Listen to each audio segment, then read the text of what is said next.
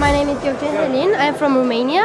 And my name is Shadi Saba and I'm from Romania. Well, it is in our school Infomatrix, so it's organized by our school, so it was easy for us to know about the movie and get support on Is this it. your first time participating? No, it's the third year that we are participating. Okay. But this year we was uh, we were uh, ca- ca- qualified at finals.